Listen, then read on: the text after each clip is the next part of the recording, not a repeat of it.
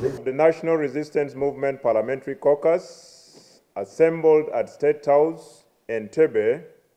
resolved to support the presentation and passing into law by Parliament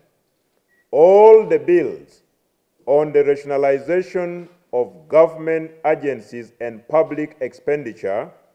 providing for a three year transitional period for Uganda Coffee Development Authority, UCDA, and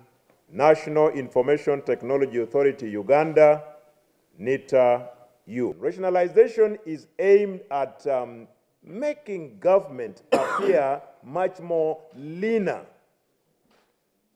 aiming at avoiding duplication. The department that will be created to accommodate all the agencies that will be rationalized either through a repeal, through a merger, through mainstreaming,